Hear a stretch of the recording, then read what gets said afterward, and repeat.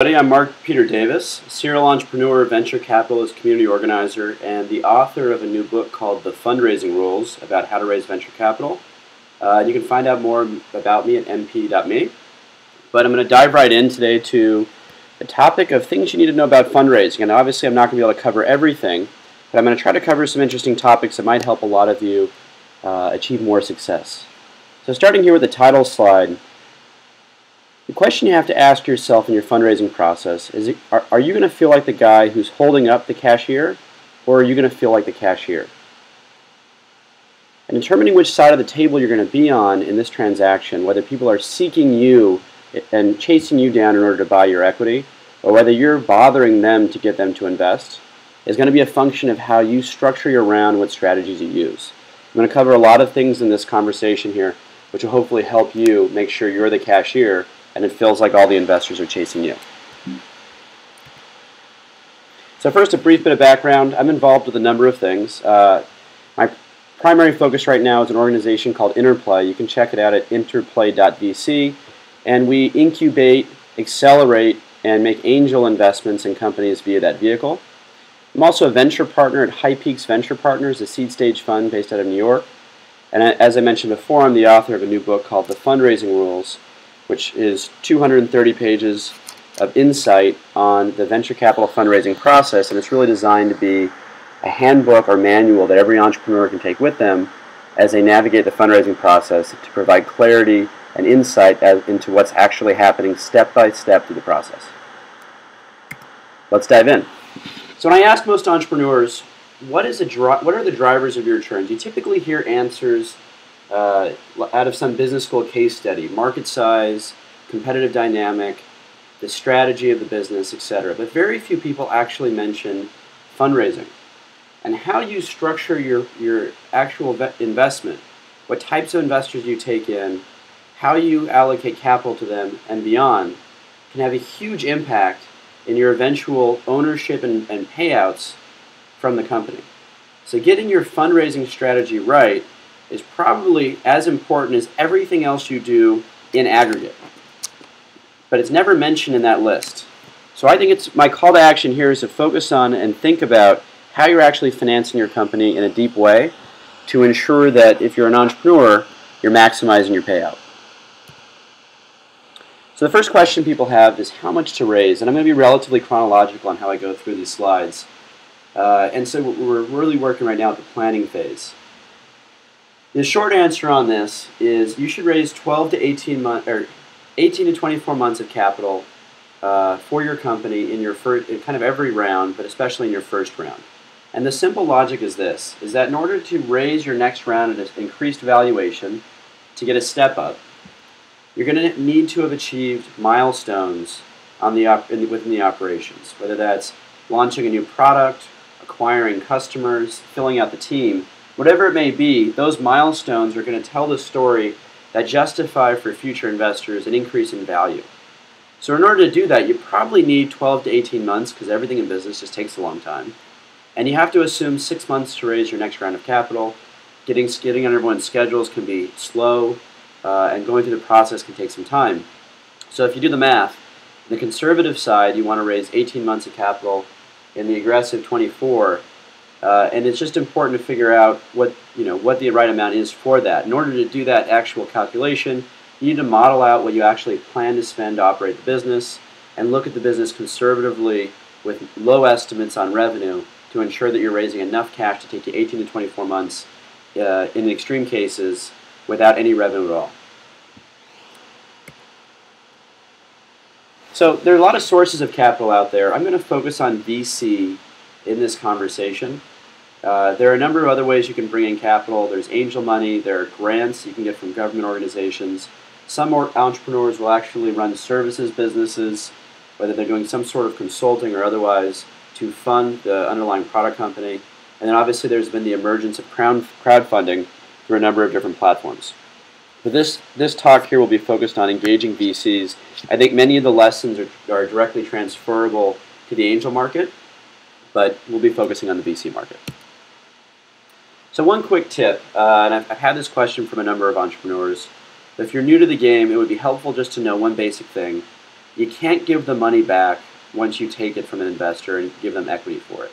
If they invest via a debt vehicle, convertible note or otherwise, uh, the structure may allow you to repay them and take them off your cap table. But if it's an equity arrangement where they actually own a portion of the company after the transaction, you can't just kick them out when, when something goes wrong.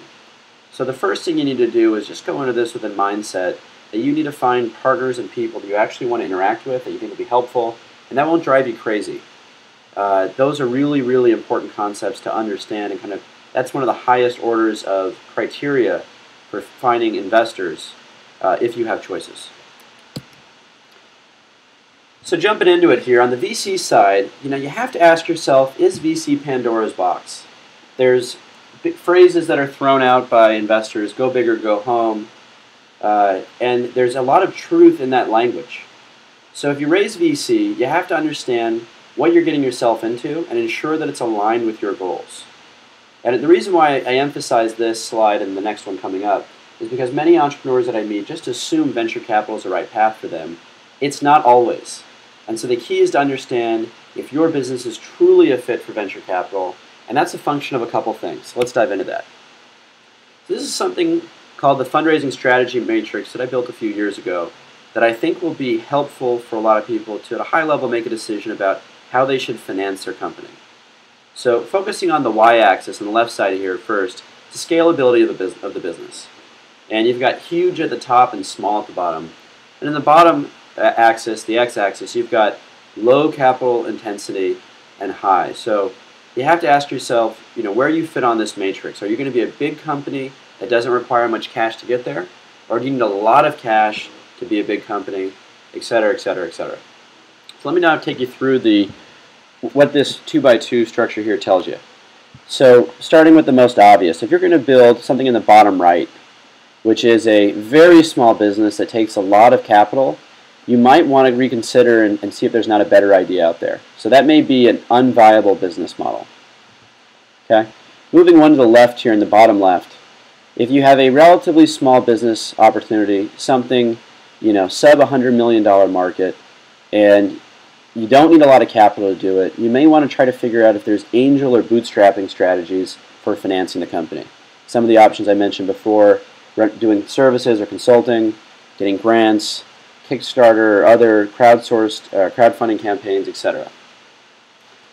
Um, if you end up in the top right, skipping the upper left for a second, which is you got a big company that needs a lot of capital to get there, then it, the path is pretty easy. You probably want to go the institutional route and get venture capital, where you can get invest, investors with deep pockets who can provide you with capital for future rounds and really support the business through its growth. If you're in the unique situation where you have a really, really big opportunity and you don't need a lot of capital to get there, and this is increasingly uh, increasingly frequent scenario, especially in the IT space as capital requirements have declined, you have to ask yourself a different question, and that's really around what your barriers are. If you've got huge barriers through a network effect or even a patent or something else that really makes the company incredibly defensible, you may want to consider bootstrapping it, position yourself to own more of the company, uh, while still realizing this big opportunity.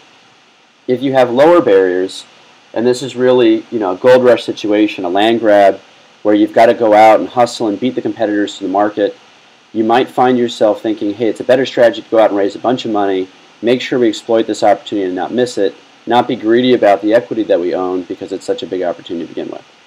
So that's the basic thinking in this 2 by 2 matrix. I would recommend everyone spends a few minutes studying this before they proceed down a fundraising path to make sure that they are in the right quadrant to, and to ensure that they're aligned with the, with the capital that they're going to raise.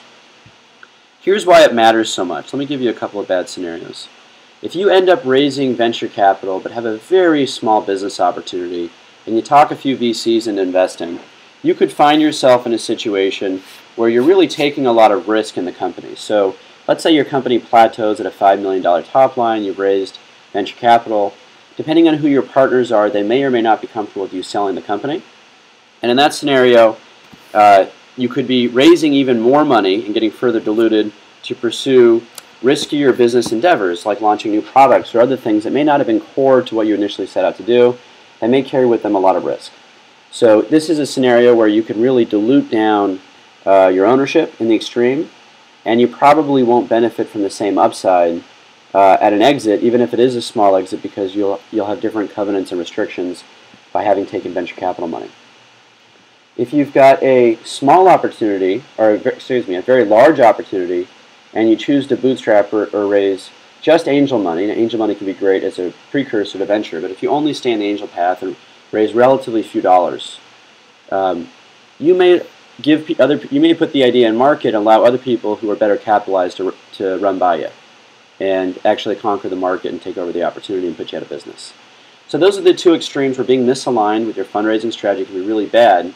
And as I said early on in this in this presentation, really ensuring that you've got a fundra fundraising strategy aligned to what your business is actually going to achieve is critical for maximizing the entrepreneur returns, the entrepreneur payout.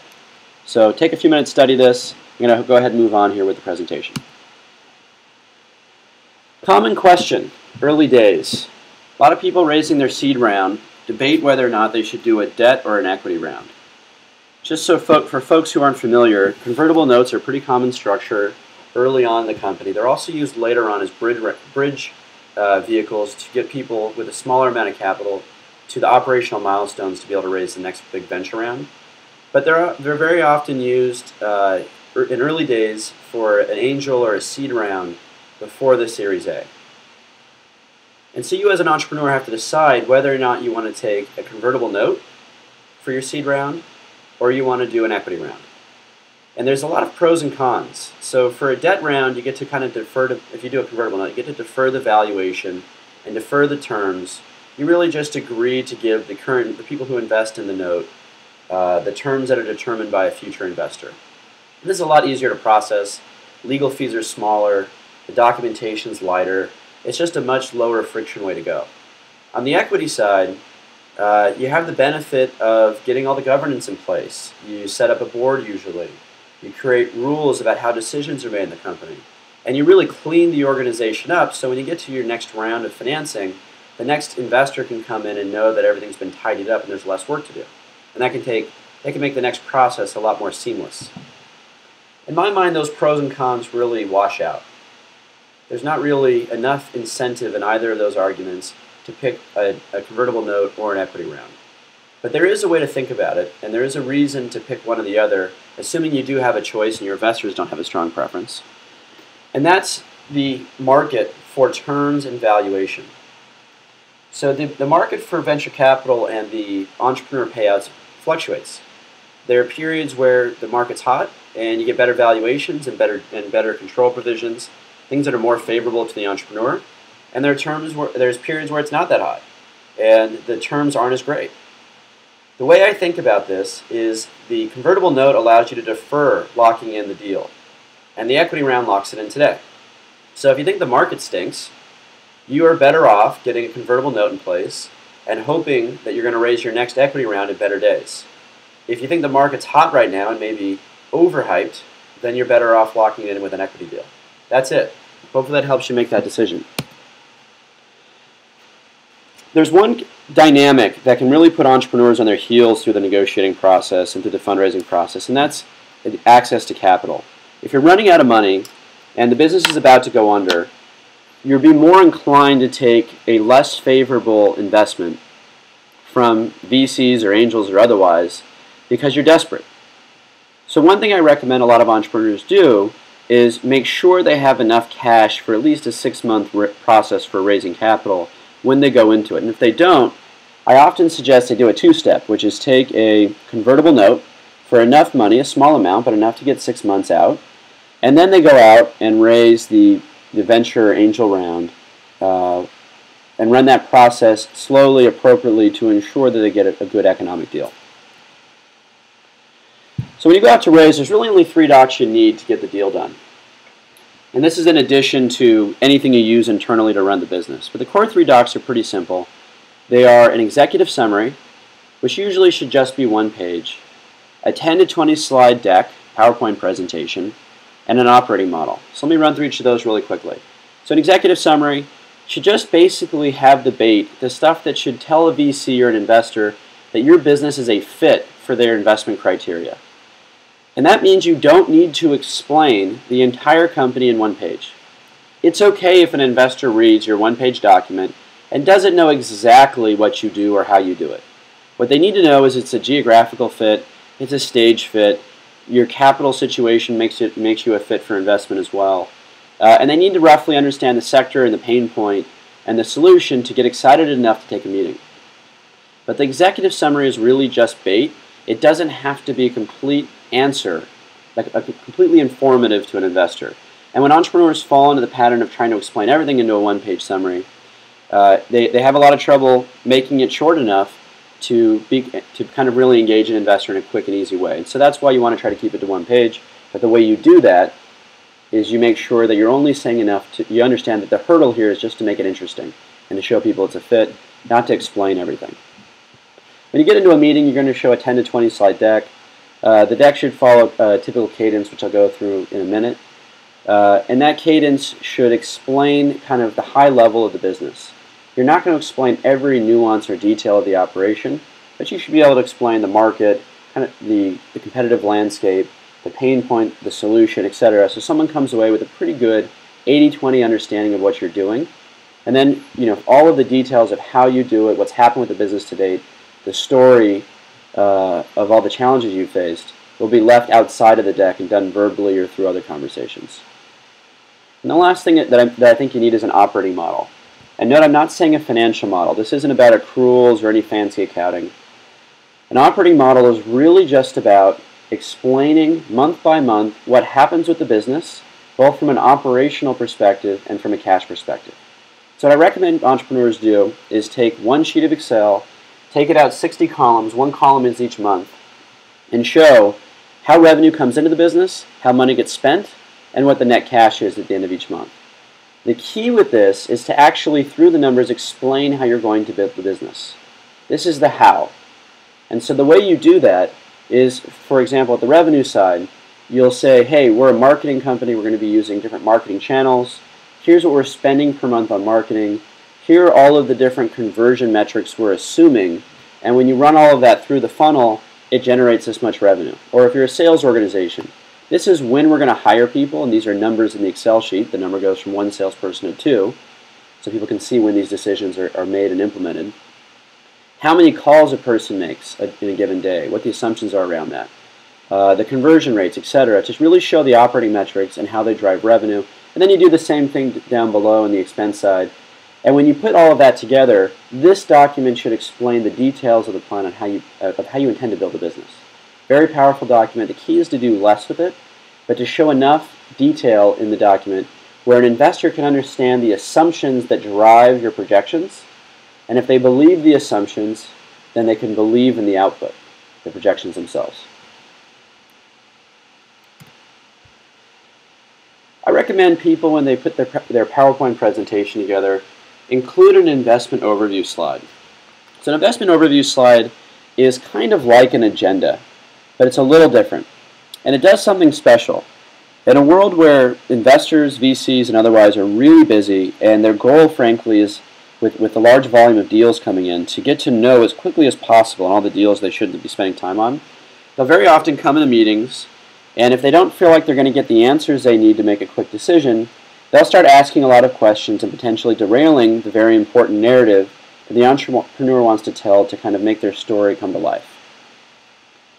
What the investment overview slide does is it takes a typical agenda slide and it includes answers, not just topics. So instead of market size as a topic, you would say $2 billion addressable market as the bullet. And the magic in that is it does two things. One, since you have a series of topics there, if you have the right topics, you should be able to communicate to an investor that, hey, you're going to cover the things they need to hear. And that's what an agenda slide does as well, but you communicate it through this document as well. But if you would provide the answers in addition to that in the actual text, you can tell the investor through one slide, we're probably a fit for your thesis or not. And if we're a fit, sit back, chill out, listen to the narrative, and you'll be able to tell me if you buy in to my assumptions to get us to, you know, to these conclusions that we're showing in the investment overview slide. If it, in some cases, this slide can really help smooth out a meeting give comfort to the counterparty investor that you're going to show them what they need to hear. and allow you to get through your story in a pretty clear way. So what is that narrative? So here's a song and dance. I think most most presentations, most PowerPoint, even executive summaries, usually follow a cadence like this or close to this. I think it's always important to start with the team. Uh, if you have the right team in place, it'll give credibility to everything you tell about the market, the pain point, the solution, and even the competition thereafter. Furthermore, if you have the right team in place, the narrative about the team should, should explain why you're building this company. Usually you're at some sort of job or had some sort of need that led to the creation of this, this, this company. Then you hit with the investment overview slide. You talk about the pain points, so what's wrong in the market, what you, how are you solving it, and sometimes this takes a few slides to get all the details out, but you really want to be clear about what your solution is here. You talk about who else is in the market, how you're competing against them, and why you're better. Important to include that last point, why you're better. And then you get into revenue. How do you make money from a given customer? How many customers are out there? You multiply revenue times customer, a number of customers, and that should give you an addressable market. Key thing here, addressable market, my definition of it is your market size if you captured 100% of the available revenue to you. So that may mean some customers aren't relevant, and you may have a different price point than other people already out there. So the addressable market is really a unique number to each company. And then you talk about your milestones to date, and you probably want to tail it off here with your fundraising expectations, what you're looking for in terms of capital. So what is the goal of the first meeting? And just very much like the executive summary, if you kind of, if you, if you bookend your objective in the meet of each of these stages properly, it's a lot easier to achieve them in a fixed amount of time. This first meeting might be 30 minutes or an hour, 15 in the 15 minutes in the extreme you want to make sure you have you understand what the objective is and don't try to do too much. You just want to do, hit the goal. And the goal of the first meeting is simply to get the second meeting. The way venture funds operate is often they have multiple partners, and they'll have one person meet uh, with each company, and if it's a fit, you will meet with more people in the company over time, in the investment firm over time. And the reason they do that is it saves them man hours. They only spend one man hour with you, and they can decide whether or not you're likely to be a fit versus having an entire partnership spend an hour each looking at the initial presentation. So it's very important you go into this meeting, especially if you're very time constrained, understanding what the objective is. It's just to get to the second meeting. And that means all you have to do is make an investor understand at a high level this company is really a clear fit with their thesis and it's a really exciting opportunity. If you achieve those two things, you should move forward in the process. Now given that dynamic, you should be prepared to present the exact same content multiple times with each given firm, unless they again only have one partner. So when you show up at your next meeting with the venture fund, you've already had one meeting and it went well and they invited you back for another meeting, expect to present the exact same PowerPoint slides over start to, start to finish. And it will get really redundant for you and probably for the first person you met with. But it's important that each new partner that sees the business hears the entire narrative and gets really acclimated to the story and excited about it. Each meeting is a new, fresh sales pitch to a different partner at the firm. All right, there's a lot of don'ts, a lot of things you can do wrong uh, at this stage in the game. A couple basic things, just to, to flag some things that typically happen. Don't be late. If you bring a partner or co-founder, don't argue with them in the meeting. Someone says something you don't totally agree with, re reconcile it after. Don't ramble you use up a lot of your time doing that, and you don't need to read from a script. This is much more of a conversation at this point. Yeah, you'll probably guide your narrative by slides, but if people ask questions, you'll move or bounce around. You just need to be able to communicate openly with the person across the table. Don't make up answers. If you find yourself in a situation where someone has asked you something you don't know, saying to the investor, hey, that's a great question, let me come back to you on that, is a terrific response. It shows a level of humility and focus on getting things right rather than uh, raising questions about whether or not you made stuff up or accuracy later. And if, especially if you say something that ends up being wrong and the investors figure it out, it could damage your credibility. One other thing I recommend people don't do is math in their head. If there's a bit of math that they ask you to do that you hadn't done before, when the spotlight's on you, it's easy to fumble through numbers and get it wrong and look like an idiot. So take your time, say, hey, I'll come back to you with that number, or work through it together but try not to do math in your head because it just very often comes out with the wrong number of zeros or something else, and it's awkward. So here's an important insight. Fundraising is like dating. And when you think about the dynamics you create with the potential investors, it's important to understand this dynamic. And there's a couple of psychological things that make this true. So the first thing is that everyone has their own tastes. So if you've got the next Google, the greatest company on earth, and it's the greatest investment opportunity you think this investor is ever going to see, you will still probably get rejected by some people. And the reason why is because different investors and different people in life have different a different sense of what makes things attractive. In the investment community, at the high level, some people really care about team, others market, some barriers, some technology, some product. You may have some of those elements and not others, and so you're going to face rejection. And when you go out, set out on your fundraising process, you just need to be emotionally prepared for that. Now that said, one of the other uh, app comparisons to the dating market is that some things are universally more attractive.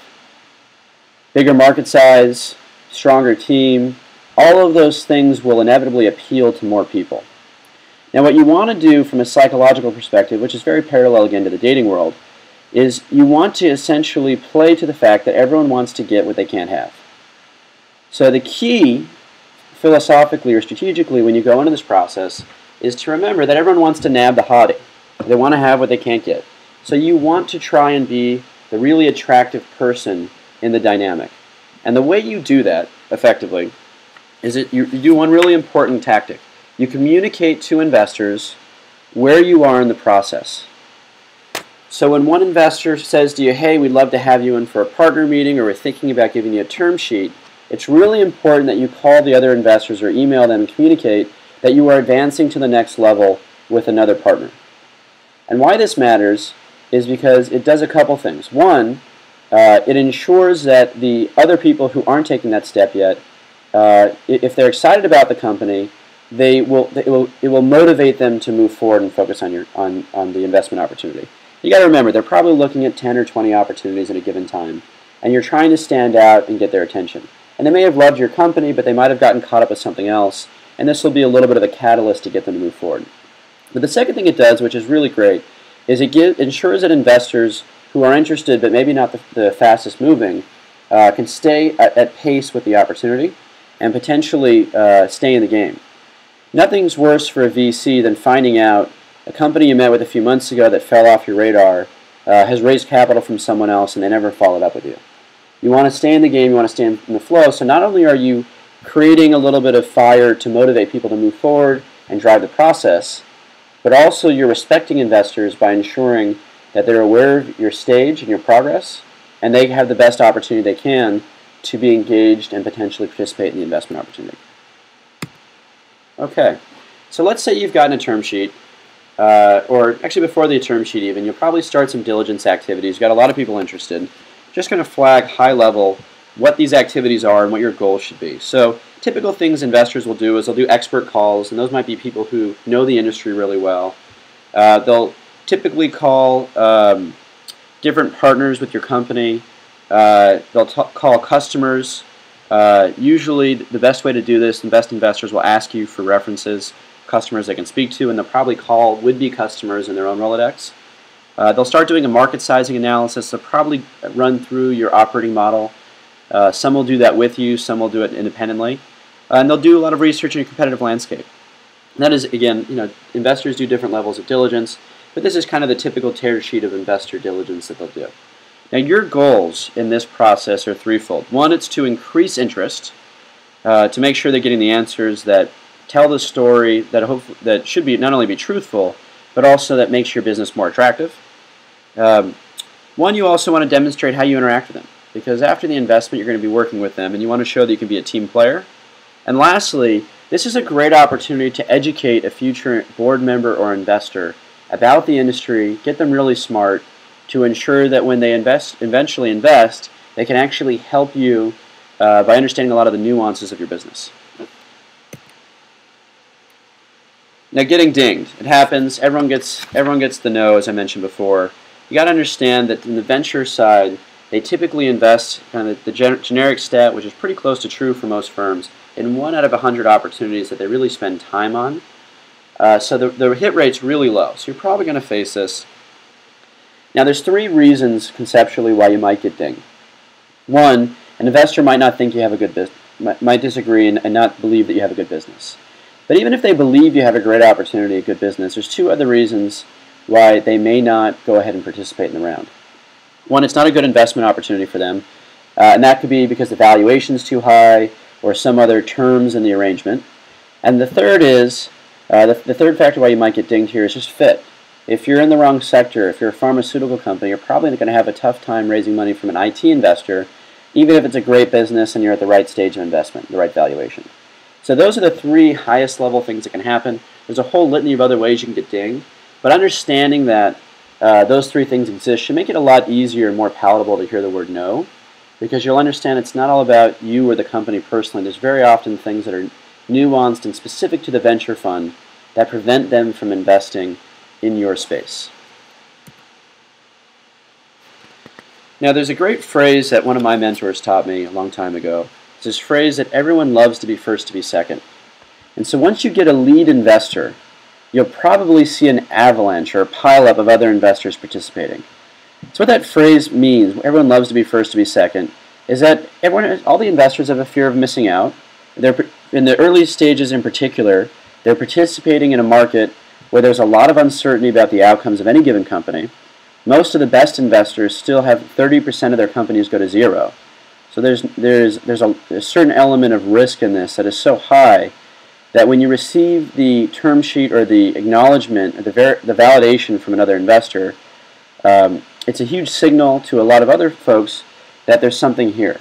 Someone smart wants to put a term sheet down, wants to invest. Well, there must be something good about your business uh, that maybe they missed or didn't understand, or maybe it just validated all the things they believed but they were afraid to act on.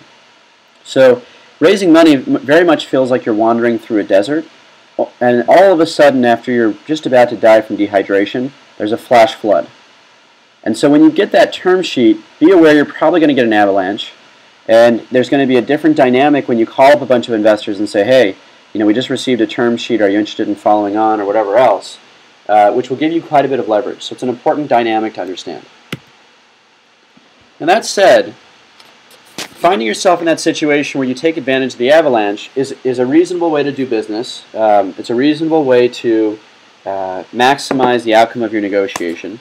But there's another way to do this, and actually the way I've done most of my deals personally is very much what I call the expression of love, which is a pretty funny term, uh, but it, it, I think it's a very applicable, uh, appropriate way to describe uh, a way to do a deal, especially at the early stages. And the expression of love is a mutual thing where an entrepreneur says to a VC, hey, I'm talking to a lot of people, but this just feels awesome. You're the partner I want to work with. And if the VC reciprocates and says, you know what, this is a terrific company, I'd love to work with you, do you just want to do this? That's a great moment to get into a different dynamic, a different type of negotiation. And the way this works with me is when, I have that moment and we both kind of say, hey, we want to work together, let's make this work, you get into a, a, negotiating arrangement where both parties have already agreed to work together. And I, what I have found uh, in my own experience is that both parties come to the table with a little bit more flexibility and they can work through a term sheet without a painful negotiation. You know, very often negotiating a term sheet this way takes an hour or two, not days or weeks. Now, this means you're not going to go shop around and, and maximize your deal, and maybe you gave maybe you end up giving a little bit of evaluation if you go this way but you'll have a great relationship and you'll probably make sure you get the terms that matter to you. Uh, and you'll get to work with a partner that you really want to work with, which at the end of the day is far more important than most of the things you're negotiating in the actual economic and control provisions deal. Okay, so you, you've got this term sheet in hand. You've had this expression of love, or you've got someone who said to you, you know what, we're, gonna, we're interested. Let's make sure quickly and run through some, some topics here to make sure you understand how to think about the transaction. So, starting off with venture math, most, most entrepreneurs are very focused on, uh, on valuation. Let's run through how to, how to do this math. And typically what people hear is the equation in the bottom left of this slide. Pre, pre-money plus investment equals post-money. Just give some definitions there. Pre-money is the standalone value of the company before the investment. The investment is the actual value of the dollars being invested. So if you raise $5 million, you put 5 million in that number. Um, and the post is simply the sum of those two. So if the company was worth $5 million by itself, you raised 5, the post-money investment, the post-money valuation is worth 10.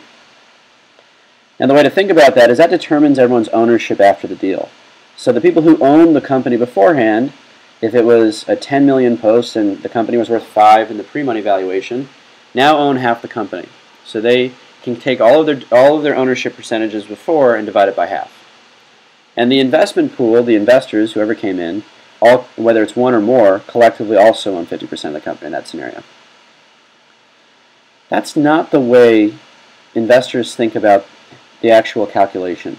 And the reason why this is important to figure out and understand is because a lot of entrepreneurs are looking at this equation of pre-money plus investment equals post-money and they're thinking, gosh, what is the pre-money valuation? I have no clue what my company is worth. You know, very often you don't have cash flows. In some cases, you don't have a product to market. There's no way to do any traditional valuation methodology to figure out what the company is actually worth. And so it's guesswork if you take it that way. Now the thing is, it's easy for investors to figure out because they have a very different perspective on, on how valuation is done. To investors, your pre-money valuation is an output, not an input into the equation. So the two ingredients that go into the calculation are how much you're raising and how much dilution you're going to take in the deal. And so if you are raising 5 million, you're taking 50% uh, dilution, the post-money value is therefore 10 million. Just simple division there. And you subtract out the investment, 5 million, and it leaves you with the pre-money valuation. So investors, most investors, are not really focused on what your pre-money is by itself. What they're focused on is how much money are we putting in and how much of the company are we going to own for that capital. And once you start focusing on those two metrics too, it's really easy to get aligned and try to figure out how to negotiate the most appropriate deal uh, in, a, in a very efficient, easy way. So what are typical dilution ranges? And a lot of people are wondering this. And it really ranges. Uh, you know, it varies by kind of market dynamic and by the, the interest in the company, the attractiveness of the team, all of the different things that make an opportunity uh, hot or not. And so here's an inaccurate, unscientific, but kind of directionally correct uh, bell curve to give you a sense of where dilution typically lies. So for every given round, typically seed, Series A, Series B, Series C, beyond, really, really hot companies that have a lot of interest might be as low as kind of a 10% dilution. Uh, the, the fat part of the bell curve is 20 to 30%, and if things aren't great and you're having a tough time raising, you might face more than 30%. And that just kind of gives you directional answer. Now remember, this is the dilution your company will take at every investment round, uh, most typically. So you have to, as an entrepreneur, ask yourself, how do these economics work out to make for pretty healthy payouts? And so this is, this is one scenario just to give you a sense of how it's supposed to work. So what's supposed to happen is your dilution, your ownership, in that first column there, own, declines over time uh, as you take on subsequent rounds of equity as a founder. Your valuation hopefully is increasing along the way, and so what it's doing is it's, it's increasing your implied value uh, as an individual. So your ultimate value of your asset, while it may be a smaller percentage, has gone up. So you can see here, you might have owned 25% on day one, and you know four rounds later only own 13%. But if the company is appreciated properly, you're going to have $8 million in asset value versus 1.3 initially. You can study this, hit pause if you're interested in looking at the math and spending some more time with it. It's very simplified, but it shows you how things are supposed to work when they're going well. Now, one of the constructs in the industry that's confusing and most entrepreneurs don't understand is something called a participating preferred asset class. So participate, participating preferred is a particular structure that gives the investors or the owners of the participating preferred certain rights. And what it does, it really gives them two rights that really matter. One, they get to take uh, a liquidation preference, which typically is one times their initial investment, out of the company at exit before any, anyone else gets paid.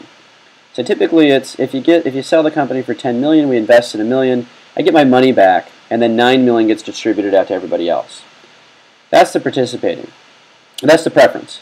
The participation is then after they've gotten their money back, the ability to participate in the rest of the payout based upon their ownership percentage. Okay? So there's two different pieces to the payout structure. So to take you through the math in kind of a really simple way, and again, this might be a good place to pause after I've run through the numbers because we're doing a little bit of math here verbally. Uh, I can give you a sense of kind of how these how the participating preferred works um, by taking you through these three scenarios. So all three scenarios are the same in the top half here. Let's say you've raised $10 million. The liquidation preference multiple is 1x, which means the, the liquidation preference paid out at sale is 1 times the original investment, which is, again, $10 million. And to simplify things, let's assume there's one investor and one founder that each own 50%. So this is how things get paid out uh, down below. So if you sell the company for a millions in scenario one, all of the money would go to the investors because they get every dollar that comes out of, of the exit until they get their money back. They get the first 10 million. And if there's less than 10 million, they get all of it. And so there's nothing that goes to common, the founder, and there's nothing that kind of goes to uh, any of the investors on the participation side. Scenario two, the exit pr proceeds are exactly 10 million. Again, all of that money would go to the investors. And in the third scenario here, you can see you have a good exit, you sell the company for 100 million, 10 million comes off the top, goes to the investors. There's 90 million that goes to the common. The investors own 50% of the common, and so you can see they get 45 million and the founders get 45 million. So a couple takeaways from this. The investors, you know, obviously get the lion's share of the payout with really small exits and the liquidation preference doesn't have a huge impact on the payouts when you get to big exits. And that's there for two reasons. One, to give investors downside protection, but two, also to align the incentives for entrepreneurs to ensure that if they take venture capital, again, they're usually committing to go for a big exit, they'll pass up on smaller exit opportunities if someone knocks on the door and offers to buy the company for 10 million because it doesn't, it's not a great return for the investors, it's not aligned well, uh, it, and it, it, this mechanism ensures that the entrepreneurs are also aligned with going bigger. So it's a good place to pause if you want to run through the numbers. Uh, I will note before uh, moving on that there's also there's uh, in VC money does not always go in as participating preferred. There is scenarios where it goes in as non-participating preferred, where typically the investor has the choice between taking a liquidation preference or participating as common, but not both together. So here's the thing, how do decisions get made in a company? This is a really important question and thing to understand uh, when you're going into a negotiation because understanding this will change what you focus on. There's this fallacy of this 50% uh, equity ownership that some uh, less experienced entrepreneurs will really focus on. Uh, and it doesn't matter. And the reason why it doesn't matter is because there's actually four ways in which decisions get made in a company. And you have to understand what those are and what you'll find is the, the least common scenario is actually uh, having a decision made by the shareholders, where the 50% would actually matter. So the first and most common way decisions are made is actually by the CEO. That includes all day-to-day -day decisions, things that don't meet a certain threshold of significance that would merit them being bubbled up to the board. So the board then is the second line of defense. Bigger decisions around issuing, issuing options, uh, making hiring decisions, and other things typically are approved by the board, uh, which in most, in most cases is some mix of investors and, and the founders and the management team. And, and very often an independent person as well. Now there are preferred decisions. There are some things that investors will carve out most typically and say, all right, the board, the board has to approve these certain types of decisions, but they can't, even if the board approves it, if it doesn't include the vote of the board member or board members who represent the investor class, these things cannot be approved. And so there are some things that typically get negotiated into a term sheet that give investors veto rights over certain provisions at exit, or not at exit, uh, on a day-to-day basis. Even if the board approves it, you still have to have the preferred approve it as well. So it requires both of those things to take action. And the things that get approved by the shareholders are very rare things you, you don't have a lot of day-to-day decisions, and certainly not most board-level decisions, that are farmed out to the whole shareholder class. You can imagine the complexity and the difficulty of chasing down people who maybe invested in the company five years ago and haven't been involved with it since uh, to get them involved in the decision-making process. Now, there are some things that do require that, but they're very rare, and because they're very rare, uh, it really makes this concept of 50% ownership far less important. Now, you want to obviously own more just for the economic reasons, but from a control standpoint, it's really less important. What every entrepreneur should be focusing on is what decisions are made by the board and what decisions are made by the investor class uh, where they have a veto right over any board decision. Those are the things that are really worth focusing on. After you do the deal, you got to remember um, that you've gone through this whole process, and hopefully you're able to manage it in a way where everyone felt mutually respected. Because when it all ends, this person who's invested in your company, the representative for the venture fund, is now your new partner, and they really are your partner. And if you pick the right people, uh, that they'll have the right mindset. And there are really two mindsets out there. Some VCs feel that uh, you work for their money, and therefore, to a certain extent, they are your boss. Others, you know, look at it and say, "Hey, we, you know, we're minority owners. We own less of the company very often than the founders do, uh, and we're their partner in the business. and We want to help them build it." So you have to make sure you pick investors, if you have choices, that really understand the partnership mindset, that they're helping you build this company uh, in order to ensure you get that great dynamic. And if you don't have a choice and you're taking someone who believes they're going to be your boss, you just need to go in with eyes wide open and make sure you manage the control provisions, the way the, the way that uh, the term sheet is constructed and negotiated to uh, minimize the impact of that perspective. But no matter who you end up with, you're going to be working with these people and you need to really focus on concept of respect. I believe this is super important in business in general. Uh, I believe everyone deserves your respect, whether they're your partners, your investors, your employees, your service providers, or beyond. It's just the right way to do business. So when you're going through this very difficult, emotionally challenged process, try to keep your head clear and remember that longer term, uh, paying respect now will ensure that you have healthy relationships later. And by the way, it's just the right thing to do. That's the, that's the most of the stuff here with this talk. I wanted to make everyone aware that I just put out a book. It's called The Fundraising Rules. It's getting a lot of attention uh, from the startup community. Uh, you can follow the link at the top, mpd.vc slash TFR for the fundraising rules, uh, BK for book, TFR BK, and that'll take you to my blog where you can channel through and purchase it electronically or get the paper version. And the fundraising rules is 230 pages of detail uh, that goes through the entire fundraising process chronologically, chapter by chapter. So there's chapters that focus initially on how the venture market works, then it goes on to things like how to prepare your materials, how to get the first meeting, what to do in the first meeting, what to do after the first meeting, what to do in the second meeting, how to handle the diligence process. And it's written in a way where it's designed to be a handbook, where you read it once and you will hopefully be a heck of a lot smarter about what VCs are thinking about and how the process works, and hopefully it should make all of the very opaque uh, venture process very transparent. But it also is structured in a way where it's very easy to flip to page 63 and find the answer you want, just reading a page or two when it's relevant. So you can find it, it's out there, uh, and I'd love for you guys to buy it, check it out, send me comments, uh, let me know what you think about it. And you can always find me at my blog, mpd.me, where I write about a lot of operational and fundraising finance uh, topics for startups. And you can follow me on Twitter at mpd. I hope this was helpful, and I look forward to interacting with a lot of you soon.